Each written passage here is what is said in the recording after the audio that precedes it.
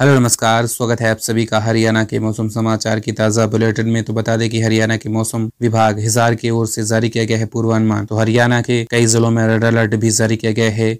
वहीं एक बार फिर से मौसम विभाग के द्वारा अलर्ट जारी किया गया है। तो जी हाँ जानेंगे इस वीडियो में क्या है पूरी अपडेट।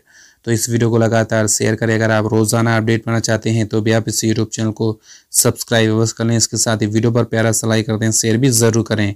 तो वहीं हरियाणा के मौसम में उठापटक अभी जारी है। मौसम विभाग हिसार की ओर से बताया गया है कि एक कमज़ोर पश्चिमी विक्षोभ के आंशिक प्रभाव के कारण प्रदेश भर में 12 अक्टूबर की रात्रि से उत्तर पश्चिमी क्षेत्र में कुछ एक स्थानों पर गरज चमक व हवाओं के साथ झटपुट बूंदाबांदी होने की संभावना है। इसके साथ ही बता दें कि जवाद का भी हरियाणा के कई जिलों में खतरा है, जो हरियाणा के उत्तरी ज़िले हैं। यहाँ पर जवाद तूफ़ान का भी कहर देखने को मिल सकता है। मौसम विभाग के द्वारा अलर्ट रहने को कहा गया है।